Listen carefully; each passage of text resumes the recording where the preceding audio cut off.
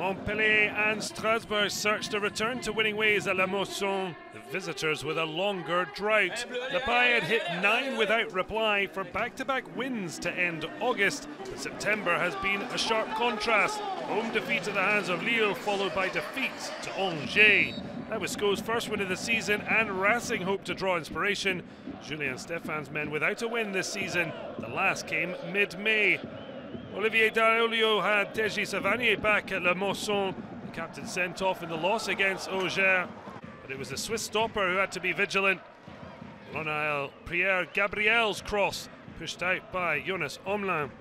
Well, Savanier would get plenty of practice from corners, and it's Wahi twice denied here. 13 goals in 2022 for the youngster, four already this campaign. Other flank, same result, although different intention. Jean-Eudes Aholou hitting off his own post. That Sels would have been beaten. If you don't succeed, try, try again. It turned out to be third time lucky. Teji creating the perfect present on his return to his home.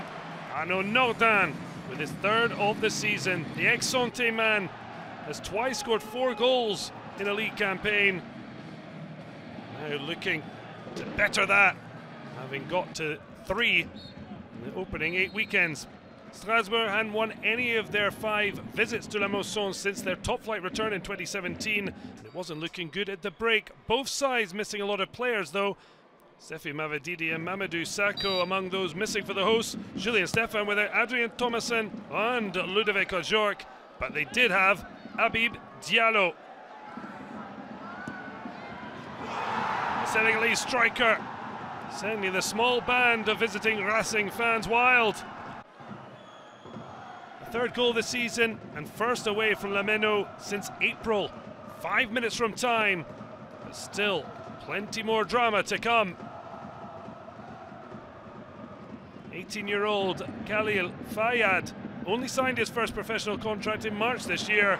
The first start to the Mosson in the defeat against Adja, on for the final six minutes and crashing his header against the bar.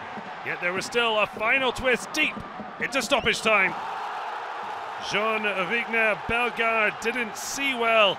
The substitute Valère Germain got to the ball first and took a whack for his troubles.